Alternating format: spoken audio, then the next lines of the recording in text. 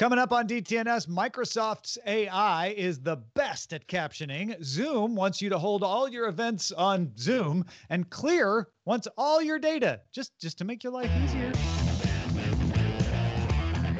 This is the Daily Tech News for Wednesday, September 14th, 2020 in Los Angeles. I'm Tom Merritt. October 14th it is. In fact, Tom and I Well, it was am at Studio September, Redwood. so I guess it's still early. Yeah, yeah. I'm- I'm, I'm- Ron I- Burgundy. I don't know what time it is here, but I'm Scott Johnson in Salt Lake City. Uh, and uh, yeah, I'm Roger Chang, the show's producer. You can point the Uh, finger at me. joining, joining us, it says, is Peter Wells, freelance tech journalist. How's it going, Pete? Oh, hi, Tom. Yeah, September 14 is my birthday, so I reckon stick with that. that that's That's quite nice. why. That's why we did that. Yay! of course. That's why we did. We wish See, it was all. It was, you know, it was divine intervention. uh, folks, we were just talking. Uh, Roger fixed social networking on Good Day Internet, so you, you might want to get that show. Uh, become a patron and get it at patreon.com/slash DTNS. Let's start with a few tech things you should know.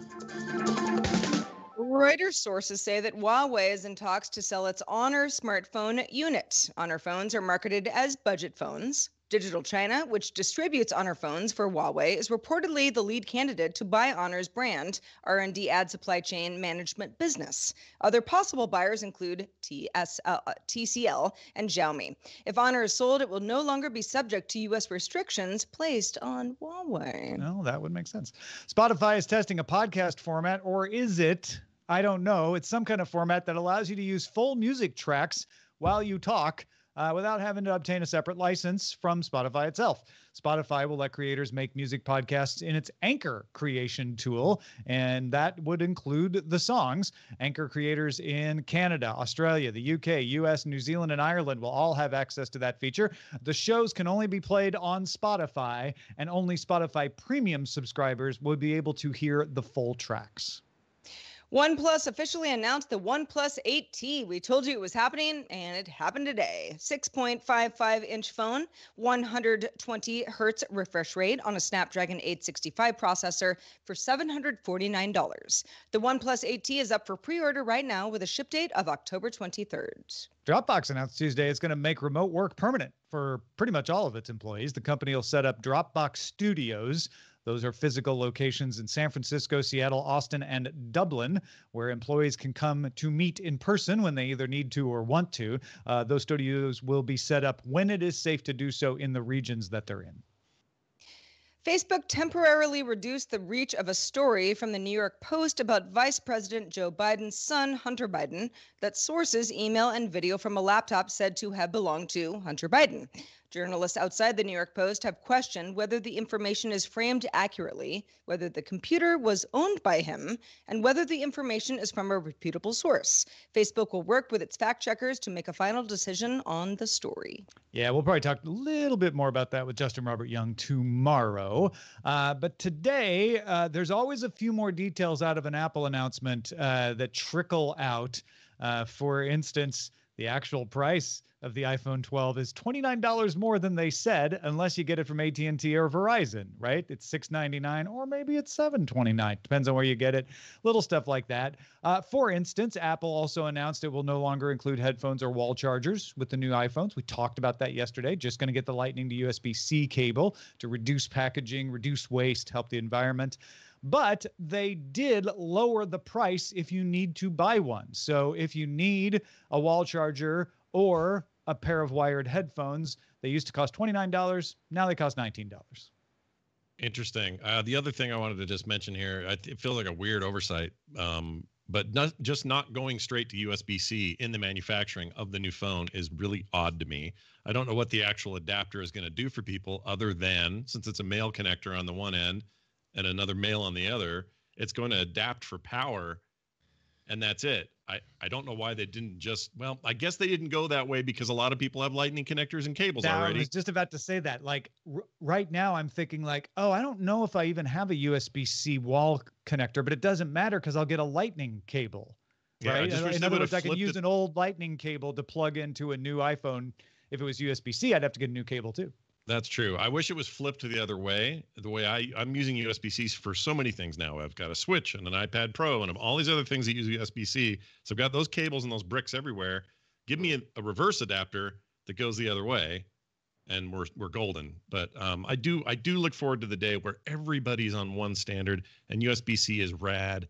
So my own personal opinion is drop the stupid lightning. code. I mean, it's not just you, Scott. Uh, there, I had a friend who was, for whatever reason, he wasn't able to watch the event live yesterday, and he was like, "USB-C, just tell me USB-C," and I was like, "USB-C compatible?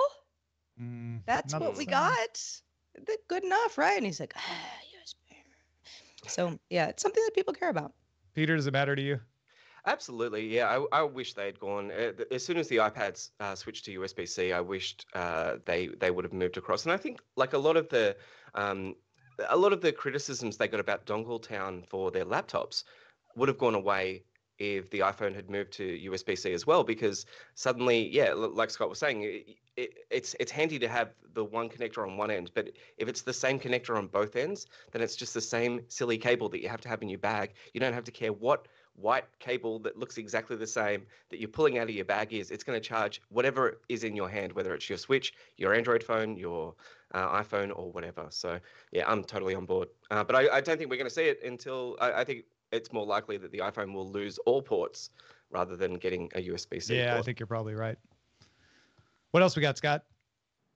Sorry, that idea just floored me. You're probably right. I don't like that either. I want a little bit of holes in my hardware. I want a little bit of place to put stuff and worry about water and too much dust. Anyway, uh, you can now pair two HomePod minis to each other for stereo sound. So you saw this yesterday and you were thinking, hey, what if those weren't together? Well, now they can. Just like the regular HomePod, though, a mini is a regular HomePod. Uh, or sorry, and a regular HomePod cannot be paired together for stereo. that's Oh, gonna do that makes me so mad. Yeah, I but mean, you how and have I a don't even? You got a big, big, huge one and a little tiny one. It's a little weird though, Sarah. You can Like, still share music across them. The whole home thing still works. You just can't use the two for stereo. Yeah, And Yeah. I imagine it's because they have different output levels. Totally. So it'd be hard to balance them. and this is the exact situation I was talking about um, with Terrence uh, from Snob OS on the show yesterday because we're both Sonos people. It's the same thing. My Sonos ones are, you know, not deprecated. Some of my older Sonos products are. So there's only certain things that you can Mhm. do, you know, when you're trying to create this cool surround situation in your house. However, the new HomePod Minis, 99 bucks. Okay, you get a couple, make them a stereo pair.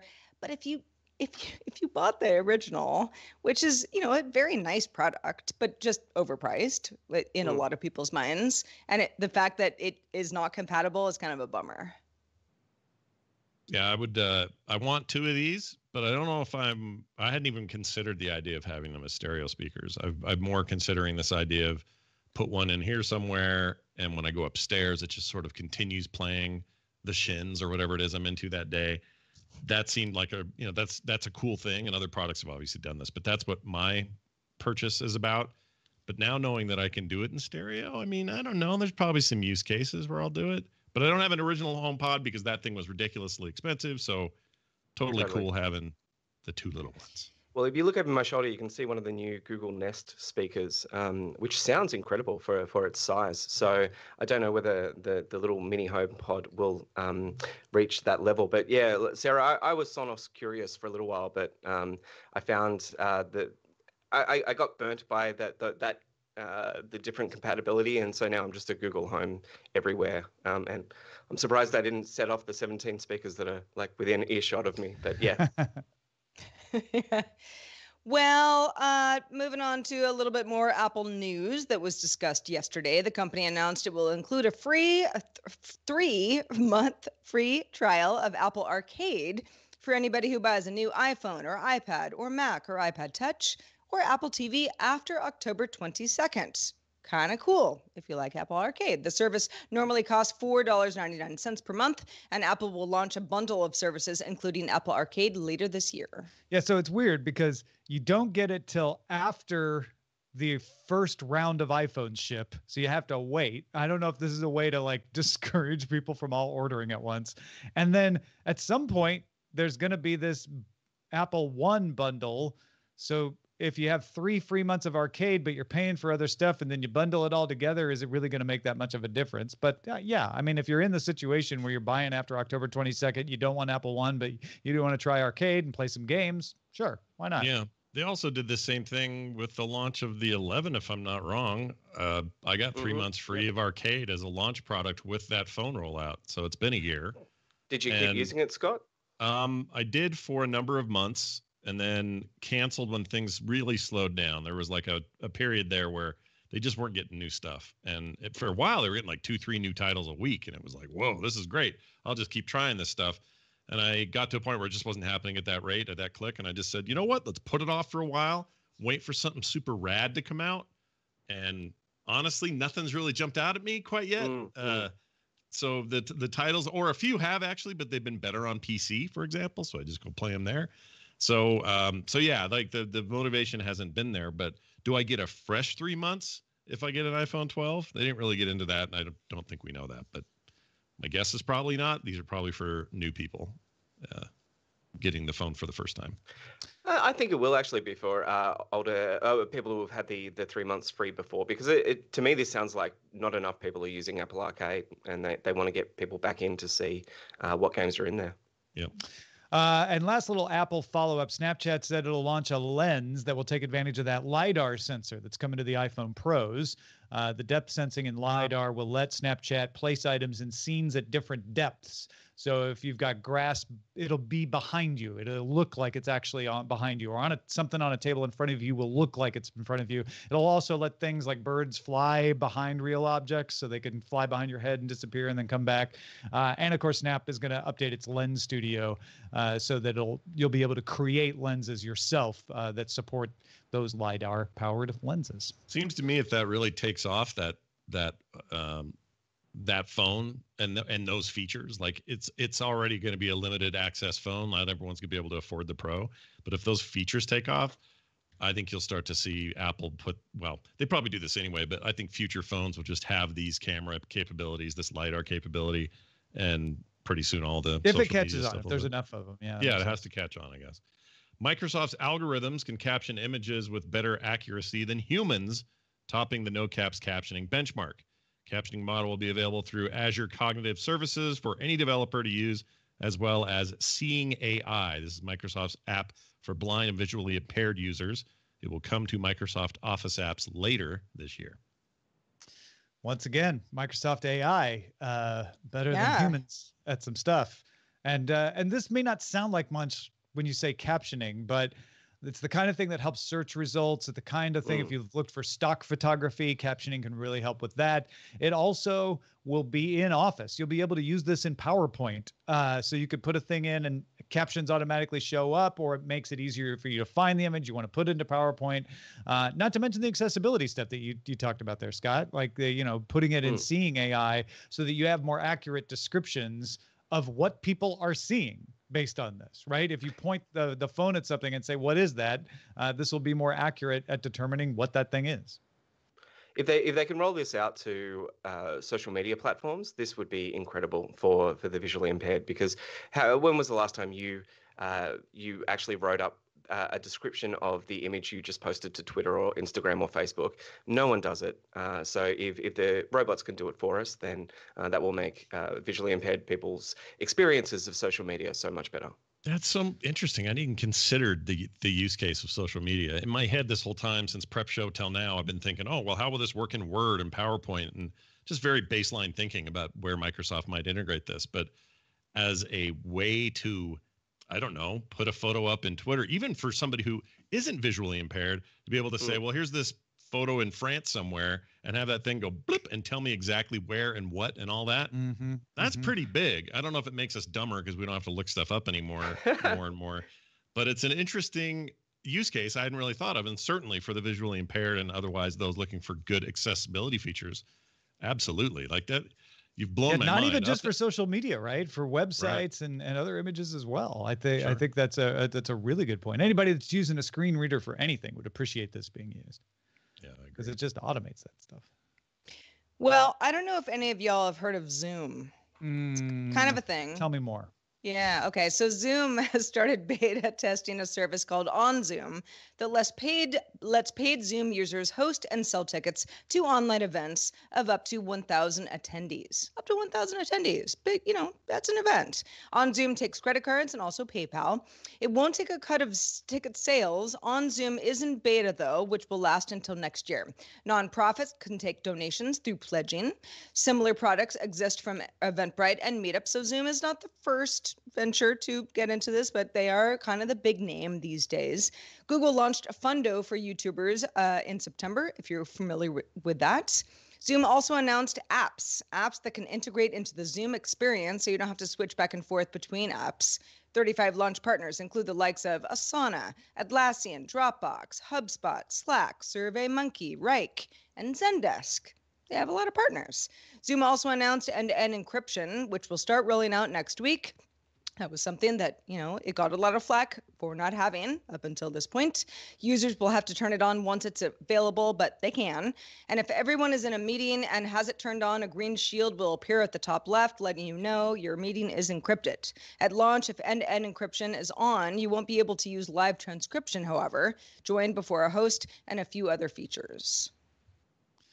Yeah, the encryption stuff is is uh, finally here. Uh, good. Uh, if you've got somebody calling into your Zoom, though, it's not going to be end to end encrypted because you can't end to end encrypt a phone call. So that's why they're saying, look, everybody in the meeting has to have the setting on, has to be using the desktop or the mobile client or a Zoom room uh, to do this. Otherwise, we can't end to end encrypt it. But uh, yeah, good, good for them. Yeah, um, you could have you could have you know if you're doing something in a corporate environment, you could have rules in place and IT rules and stuff where people are all end to end and you're good to go. So that seems like a good yeah. thing in the right direction. In terms of this on Zoom thing, it's interesting because I think it's in as much as others have already been doing it. It's a, it's kind of a response to what people are already doing with Zoom as their mm. as their resource. I've seen plenty of concerts pop up where they're like, buy a ticket, you get a virtual concert, uh, but the ticketing stuff is all handled through some other party or PayPal yep. Direct or whatever. And over here, you've got Zoom as the thing that's actually bringing you uh, the event. Zoom probably just said, "Well, why aren't we why aren't we the middlemen here? Why aren't we doing the entire process for that?" There must be enough of that going on that they feel like it could be a, another space for them to make a little money. So, not surprised at all, and I think it makes sense. Like I would rather do my concert in one one stop, no matter who I'm getting it with, and Zoom does too, I guess.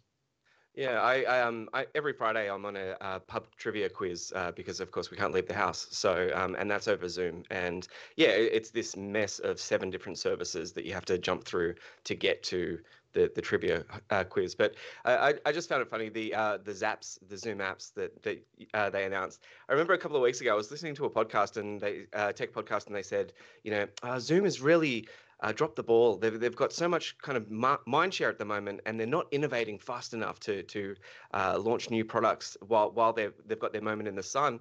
And I thought, what are you talking about? Like I'm on Zoom 14 hours a day, and the site has never dropped a connection once. Like that's innovation in itself. The the uptime that they've got. Let's just work on that until we get through this whole pandemic thing, and then you can start to, to roll out some new services. And it's good to see that they're doing that. You can actually, uh, you could also ask the question whether or not it will be as viable an idea if things open up more fully, because there'll be less demand on, say, performers who want to do ticketed concert style things over Zoom. They'll just do tours. and, and, and so if, if we truly are getting to a place where we can congregate in that way again, then this kind of was for naught. But maybe it's no big deal for them. They're just creating kind of a middleman processor and and uh, taking advantage of it while it getting's good. Yeah, it's it's it's amusing to me that that someone would be like, "Gosh, why Zoom uh, accidentally captured all of our market share, and and we all are sort of feel forced to use them. Why aren't they making more money off me?" Uh, and yeah, here they go. Uh, I because because honestly, like this isn't new. The idea of doing virtual events and charging for them, as you mentioned, Sarah, there's Eventbrite and others out there. But it's because everybody has Zoom that people are like, oh, well, if I can do it in Zoom, then I know people will show up because there's hardly a person left, at least in our audience, who hasn't used Zoom at least once in the last several months. So if there's a thing on Zoom, you're more likely to go like, oh yeah, I have Zoom. I guess I could attend that thing. It sounds kind of fun. I mean, Sky, you could do Nerdtacular over Zoom. Yeah, we were. Uh, we've actually talked about it, or uh, we've been talking about doing kind of a from home BlizzCon like you and I did back in 2012. when Oh, yeah, yeah. BlizzCon. Thought a Mm-hmm. little bit about doing something like that, and and it is a format. As much as I hate their sound quality, that the video part of it is is covered. Like you can create a panel of 100 people if you wanted to, or smaller, bigger, whatever, pretty light footprint.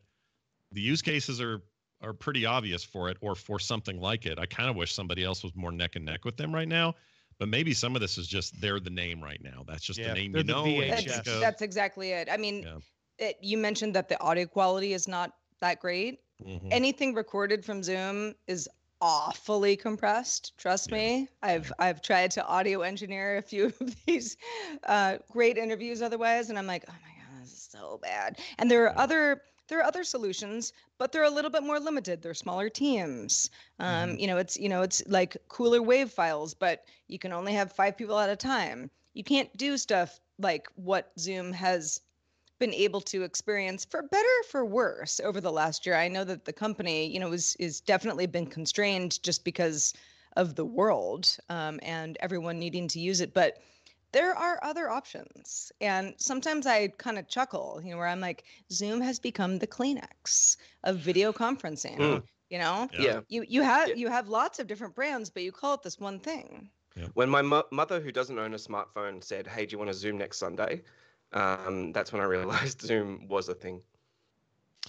Well, folks, if you want to get go. all the tech headlines each day in about five minutes, be sure to subscribe to dailytechheadlines.com. Medium's OneZero has a story from Dave Gershgorn about Clear. If you're not familiar, Clear is a U.S. company best known for operating travel verification programs that let you skip the security line at about 35 U.S. airports. Clear verifies who you are. So you do a, a thing in person, you prove who you are, they take your thumbprints and all that. Uh, and then when you show up for your plane, you just do a fingerprint scan or an iris scan and you speed right through. A lot of times you don't even have to show your boarding pass because that's associated with you through Clear. Uh, Clear also uses this technology outside of airports. They use it in stadiums in the Bay Area to help speed you through the ticket line. They experimented with touch to pay kiosks at the Napa Farms Market concession stand at San Francisco Airport. So you can just pay with your thumb by associating a payment method with your Clear account. Clear also partnered with the Seattle Mariners baseball team for priority stadium access and age verification if you wanted to get a beer or something.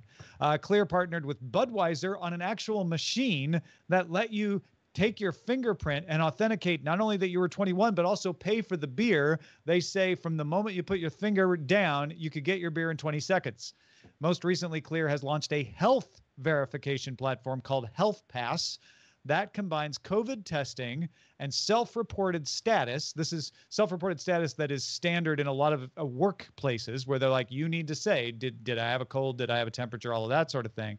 Uh, so they combine all that to clear people to enter their workplace. Uh, that includes Seattle's T-Mobile Stadium, uh, where they weren't taking crowds, but they had people there for the Mariners games. That included the 9/11 Memorial Museum in New York, uh, some restaurants, uh, Chopped and Dos Toros in New York City. In fact, the NHL, the National Hockey League, used Health Pass for players and staff during the playoff bubbles that they had in Edmonton and Toronto. At a presentation last year, Clear CEO Caryn Seidman Becker said, quote, you are your driver's license, your credit card, your healthcare card, your building access card. Why are you whipping all these cards out? So I, I really like this uh, piece on Medium because Dave Gershgorn doesn't raise the alarm and over sensationalize it. He just lays it out like Clear wants to do this. There's some benefits. Maybe there's some concerns in having a company know all this about you. It's kind of up for you to decide. Yeah, I've been super curious about it for a long time, and everyone I know who uses it, Tom, you're one of them, sings its praises. Like says, "Well, yeah, I mean, once you've done, it's like a one, it's like 1Password or any kind of password manager, a little bit. Um, Right, Yeah, the because you value of it is the company, right? yeah, if you trust them, then you've got this one stop. You're done. You don't have to think about it ever again. Like there is something to that. It's just all about the the right company, and then maybe they're the right company, but you know, is 1Password the right company? Is some other yeah, one the right company? what I like about 1Password is they're not the only company. There's also LastPass and KeePass and Dashlane, right? Like yeah, this is what I what concerns me about Clear is they're the only ones vetted to do a lot of this right now. Yeah, that would be that's my big concern or my big hang up is I would I need some other choice so I can see what one would offer over the other one or what one failed at and the other one didn't. Uh, or which which one got a breach and something ter- terrible happened, and the one that didn't. Like we haven't enough had, had enough time with it. I mean, that's the whole thing too. Is like, what what is the you know what's the downside of this great thing that Tom just laid out? Oh, everything is going to so much friction being er- eradicated from your life. Well, if there's a data breach, or if the company for some reason has like nefarious reasons to use your data for other things, then that would be terrible. Those things do happen, but you kind of have to i don't know i mean i am i am on the less paranoid side of the fence when it comes to these sorts of things because i'm like the the just getting through an airport for example is huge hassle everybody hates it nobody likes it you know clear sounds great. I am not a clear member sound sounds wonderful but but just things like yeah going to a stadium when we all go back to stadiums whenever that's going to be but just you know paying for things having your you know like we know who you are you're in our system already just uh the least amount of friction is to me is worth it and Mm. maybe that is naive of me to say but i just i feel like this is cool rather than scary Yeah. So that's interesting because doesn't I mean convenience often wins out totally in the end. Like, Mm, yeah. but there's still this threshold. And Pete, I'm super curious what you'd say about this, but I feel like there's a threshold. I don't know what it is for this though, because this feels like every egg in one basket. And as we know that phrase, Totally. Totally. you're supposed to be careful about doing that, right? Yeah, I think that um, you know the, the fact that Clear hasn't had a data breach, um, we haven't seen what that would look like, like how terrifying that might actually be. Um, so, so I think that, that that would that would you need to see that first. And I don't know, Clear has never taken off in Australia just because um, it's much easier getting through airports in Australia than it is in the US. Um, I, I I would pay for Clear in a second, or, or sign up for it in a second if I had to um, travel th- travel through your airports uh, as much as I travel through my own. But or or did. Dude, I back in the- missed the Clear when. I was going back to the Sydney airport. I'm not gonna lie. Oh, like, look, "Oh, I'm not man, saying I'm not saying our international experience is a great one, but um, for domestic, it's just like, hey mate, how you doing? And you walk through. So um, uh, yeah, look, I, I I can see. I don't know. I, I I definitely think we need something like this when when if we're if we're talking about opening up stadiums again, and you know, I miss the footy so much. I want to go see a football game again. Um, it, I, I will. I will let my retina be scanned. I'll let someone poke my nose. I don't care if it means I can get to see my football games again. Um, I'll do all of it. So I'm probably going to just sign away anything if it means that I can see football again. Um, and, and I would imagine a lot of people are in that same situation. Well, if you have thoughts on this or anything else we talked about on the show, join our Discord. It's a great group in there, and you can join by linking to a Patreon account at patreon.com slash DTNS. Let's check out the mailbag. Let's do it. Norm from Pleasant, Visalia. Well, good to hear that, Norm. Uh, was talking about some iPhones that we talked about yesterday, quite a few form factors. Norm says, I'm a fan of the small form factor, so I thought the iPhone SE was my way to stay in this way. As a result, I'm kind of disappointed that the iPhone 12 mini has come out even smaller than the SE that came out just last year, and only slightly larger than the first gen iPhone SE from 2016. After over four years without a small form factor, we get two in two years. the new Mini is 300 more than the SE, so I might have skipped regardless, but I'm still a bit bummed. I guess the positive is that Apple will be producing a budget model, the SE, and a smaller version of their flagship model next year. So maybe the iPhone 13 mini will be my next phone. Yeah, Norm, I I, you and you and a million others are feeling the same pain of like, wait, uh, you came out with a new thing, not let you know, not that long after I bought the last thing. Like, the, it's a never-ending uh, peril, isn't it? I'm really excited for the uh, mini though because I, I I played with the SE when it came out. I got a review unit for a little week, uh, a few weeks, and um, it, it is uh, it is still the older form factor. It is still a uh, you know not the best internals, all that kind of stuff. What the mini is is just as good an, a phone as all of the giant surfboard-sized phones, um, but one that I can actually use in my tiny little hands. So I Yeah. I, I can't wait. Yeah, it's funny because this is the time I'm thinking about going for the monster one because even though seven inches sounds insane, like insane, that's a it's basically a small television in my hand. Um, I have big hands and they, and I benefit from a larger phone, and my eyes aren't getting any younger. I can tell you that. So for me, I'm, I want to go big now, but I get the value or the uh, interest people are having in going back to a smaller form factor, especially with all the features. This thing's a, you know, uh, spec for spec. It's the same phone minus the size, and I, I think that's actually pretty cool. Well, shout out to our patrons at our master and grandmaster levels, including Dale McCahey, Ali Sanjabi, and Paul Thiessen. Also, big, big thanks to Peter Wells for being with us today. Peter, it's been too long. Let folks know where they can keep up with your work. Uh, you can follow me on Twitter. I'm just Peter Wells over on the Twitters. Um, but I did want to mention uh, Meta is a new podcast uh, that's been out for a couple of weeks now. I've had some great guests like uh, Kara Swisher, um, who is one of my all-time fave uh, tech journos. Uh, we've we've had some great conversations, and it's just a it's a podcast about podcast, hence the name. But really, if I'm being honest, it's just an excuse for me to chat to people I like, because I mm. assume that by 2021 everyone will have a podcast, so I'll get to be able to chat to whoever I want to. Yeah. That's perfect. Uh, so check it out. It's called Meta. Got right? Mm-hmm. M E T A. That sounds great. Yeah, good stuff. Always like a new podcast. Also, thanks to Scott Johnson. Scott, what's been going on in your world? Well, speaking of new podcasts, the Current Geek Chronicles season one ends today with the release of episode eight. Actually, came out yesterday. So if you are interested in checking out what our final episode of the season is, we'll have some bonus stuff coming up. But uh, go check it out. We talk about mocap and CGI and the movies and TV and what's new, what's different, what might change, what might never change. That's at currentgeek.com or wherever you get your podcasts. Hey, folks, if you want an ad free feed of DTNS, support us on Patreon to get your own personal RSS feed supported directly by you. You can find out more at dailytechnewsshow.com slash Patreon.